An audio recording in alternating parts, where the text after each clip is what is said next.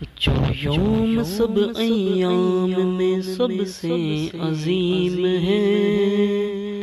جو یوم سب ایام میں سب سے عظیم ہے۔ وہ جمعہ کریم ہے۔ جمعہ کریم ہے۔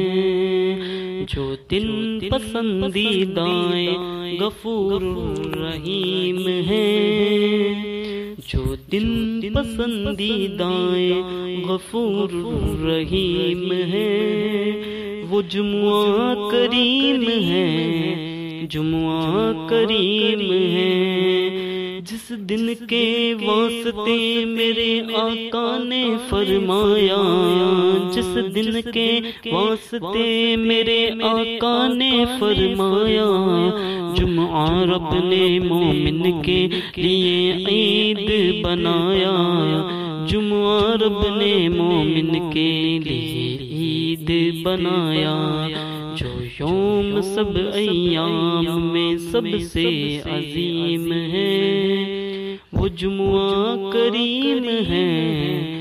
جمعہ کریم ہے وہ جمعہ کریم ہے۔ جمعہ کریم ہے۔ جمعہ